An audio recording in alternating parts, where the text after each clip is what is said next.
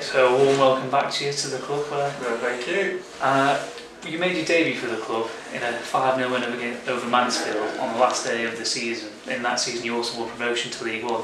Yeah. And of course you won Young Player of the Year during your time there as well. But out of all the moments, what is your most fondness from your time at Cheltenham Town?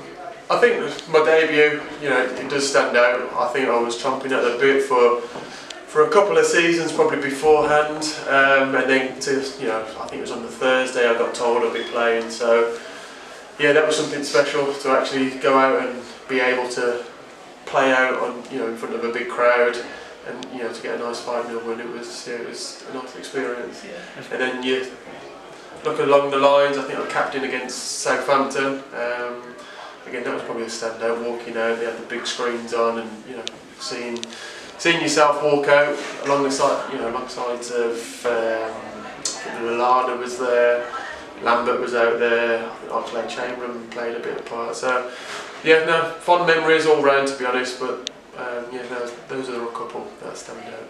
There must have been some big teams that you played against in the Football League, teams that probably shouldn't have been as low down as they were, like Nottingham Forest, Leicester, Southampton, as you mentioned there, Leeds. Um, although you weren't involved in the 1 0 win here against Leeds, it was one of the highest crowds there's ever been at Cheltenham Town. Was that one of the best atmospheres Yeah, you've been involved definitely. in? There's you know, there's been a lot of games here. I think the Newcastle game there was people standing on the top of the stands. I think it was everywhere.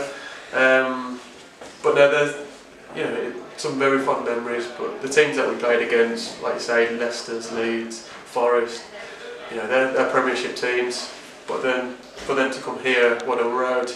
Yeah, it was some experience. And although goals weren't your forte, you did score one that 3 3 draw against Brighton in the last minute, wasn't it, to uh, in stoppage time to level the game? Was Yeah, that, that's it. That's, that, that your favourite goal? for Yeah, to be fair, that's that was probably my favourite goal. My, my best friend um, and one of my sort of business partners at the moment, he played for Brighton at the time. So I remember, I remember just running from the back to the front, tapping it in, and just seeing him with his hands in his in his uh, his head in his hands. Yeah. Yeah, so that was that was a nice feeling.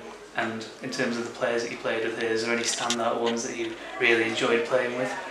I think you look at Steven Gillespie. I think you know he was he had a couple of injuries along the way, but he, he could create something from nothing. Um, you know, if he was on the pitch, you always felt like you had a chance. Um, so yeah, he, he was a standout. You, the likes of Grant McCann, John Finnigan, Marlon Pack's gone on to, to go and do some great things as well. Uh, Molly Watkins as well. He's another I really believed in at the time. He didn't get the chance here, but again, he's gone on to, to bigger and better things as well. Thank you very much. And No we wish you problem at for all. the game today.